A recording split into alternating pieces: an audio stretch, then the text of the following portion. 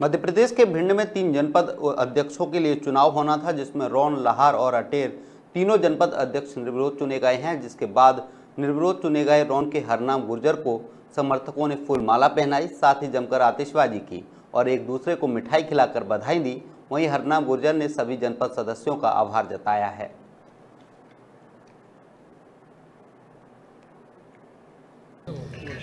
नेता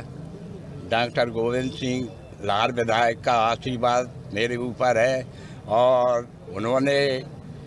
ये विकास काम के लिए, विकास का काम करेंगे, इसलिए उनने और जनता का हमारे ऊपर बड़ा भारी वो है आशीर्वाद के जो काम करेंगे जनपद में, गरीब की सब हर लोगों की।